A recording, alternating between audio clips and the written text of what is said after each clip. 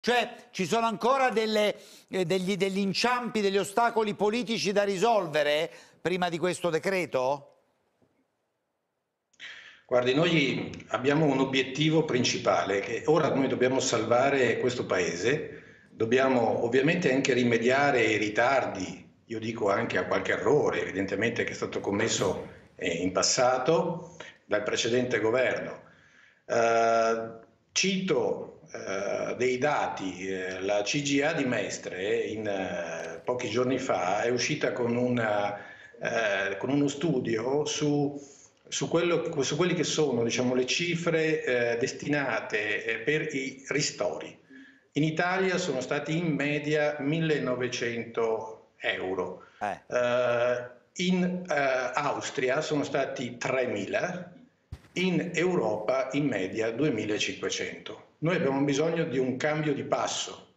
Cito questi dati, tra l'altro erano stati citati anche in un post proprio dal senatore Morra, per fare questo tipo di ragionamento.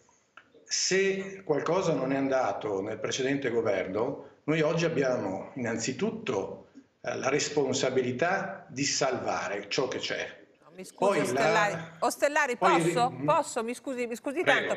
Voi avete il dovere di salvare, non c'è dubbio, ma a questo punto di immaginare quello che dovremmo, eh, quello che dovrà essere questo paese, non solo salvare. Lei, salvare Arrivavo. ormai è, non basta Arrivavo, più. Se lei mi lasciava, se mi lasciava prego, prego. terminare, ma accolgo questa sua, questa sua interruzione per ragionare anche con lei sotto questo profilo. Sono d'accordo che il nostro paese, così come gli altri paesi non solo europei ma del mondo, eh, dopo questa esperienza tragica saranno destinati a eh, in qualche modo cambiare, cambiare anche nella loro strategia di sviluppo. Questo è un ragionamento che dovremo fare, ma oggi noi dobbiamo ragionare per priorità. È lo stesso ragionamento che facevamo prima per quanto riguardava i vaccini. Nessuno è lì che gode se qualcosa non funziona, però noi dobbiamo essere precisi con i cittadini, i cittadini meritano in questo, in questo momento la trasparenza, la verità. Quindi oggi noi dobbiamo intervenire subito per dire sì. le cose come sono e per fare le operazioni necessarie. Ci sono 32 miliardi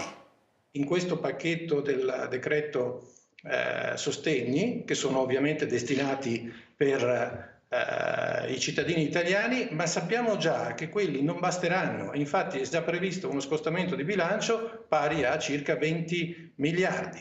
Eh, interverremo ovviamente sul fisco, prima lei ha citato questa operazione per quanto riguarda le cartelle, sì. diciamo quelle inesigibili. Ora questi sono cartelle inesigibili che lo Stato non riuscirà mai a incassare. Sono, sono cartelle che hanno un valore massimo fino ai 5 eh, mila euro cada una e ovviamente costituiscono un peso per questo, per questo, nostro Paese, un peso soprattutto per quanto riguarda il fisco. Quindi eh, questa operazione, che è concordata, che è ovviamente anche condivisa con il governo, porterà a, una, a un impegno, diciamo così, sotto questo profilo di circa eh, 2 miliardi. Sì. Eh, quello sul cashback, sì, io, noi, noi, diciamo facciamo qualcosa che sia utile, immediato, eh, eh, veloce, eh, quella operazione è stata criticata non solo da noi in realtà, ma da molti altri e eh, quota circa 3 miliardi. Usiamoli magari per il turismo. Ecco, facciamo Chiaro. cose che servono, quindi